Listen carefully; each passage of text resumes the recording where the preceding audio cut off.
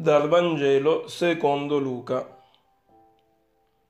In quel tempo uno dei farisei invitò Gesù a mangiare da lui. Egli entrò nella casa del fariseo e si mise a tavola. Ed ecco una donna, una peccatrice di quella città, saputo che si trovava nella casa del fariseo, portò un vaso di profumo. Stando dietro, presso i piedi di lui, piangendo, cominciò a bagnarli di lacrime, poi li asciugava con i suoi capelli, li baciava e li cospargeva di profumo. Vedendo questo, il fariseo che l'aveva invitato disse tra sé, se costui fosse un profeta, saprebbe chi è e di quale genere è la donna che lo tocca. È una peccatrice. Gesù allora gli disse, Simone, ho da dirti qualcosa. Ed egli rispose, Di pure, maestro. Un creditore aveva due debitori, uno gli doveva cinquecento denari, l'altro cinquanta. Non avendo essi di che restituire, condonò il debito a tutte e due. Chi di loro dunque lo amerà di più? Simone rispose, suppongo sia colui al quale ha condonato di più. Gli disse Gesù, hai giudicato bene.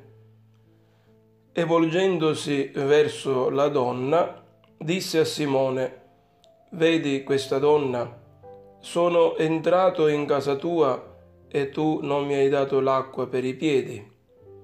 Lei invece mi ha bagnato i piedi con le lacrime e li ha asciugati con i suoi capelli tu non mi hai dato un bacio. Lei invece, da quando sono entrato, non ha cessato di baciarmi i piedi. Tu non hai unto con olio il mio capo. Lei invece mi ha cosparso i piedi di profumo.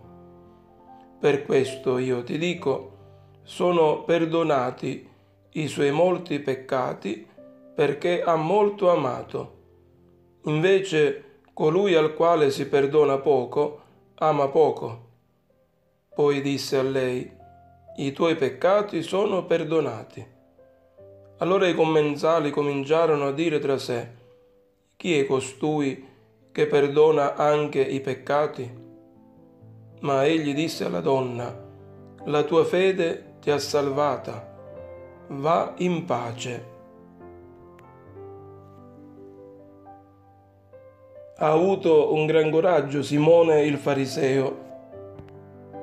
Non è come certi suoi compagni che giudicano senza conoscere, che hanno bollato il profeta Galileo come impostore a priori. Vuole verificare, ascoltare, dargli una possibilità, ma proprio durante il pranzo accade l'imprevisto. Dalla porta lasciata aperta perché tutti potessero vedere la generosità del padrone di casa, entra una prostituta che si mette a piangere sui piedi di Gesù. Una prostituta, quindi un'impura, che sta contaminando il profeta, che perciò, sapendolo, non si dovrebbe lasciar toccare. Quindi non è un profeta. Ragionamento contorto ma efficace e Gesù vuole salvare entrambi.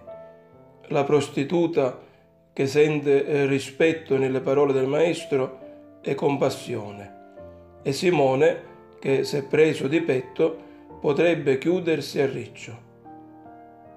Sarà Simone, retto nel giudizio e irreprensibile, a giudicare Simone.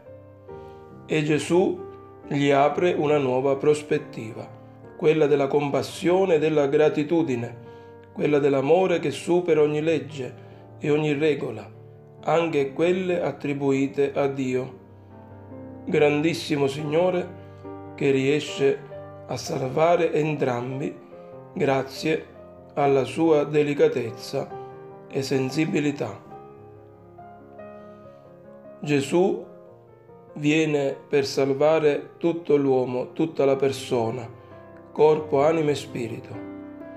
Tutti siamo debitori verso Dio E quindi come Simone il fariseo o come la prostituta, anche noi ci presentiamo davanti al Signore che vuole entrare all'interno del nostro cuore, della nostra vita, per cambiarla, per trasformarla, per rinnovarla, perché comprendiamo pienamente chi è l'amore.